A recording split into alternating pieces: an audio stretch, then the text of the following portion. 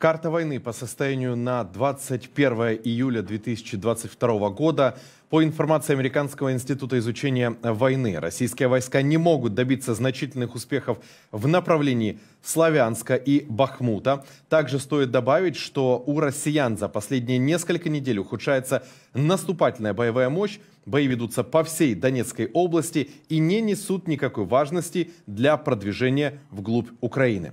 Далее, по информации Генерального штаба Вооруженных сил Украины, на Краматорском направлении российские военные обстреливали из артиллерии районы Краматорска, Серебрянки, Верхнекаменска и Ивана-Дарьевки.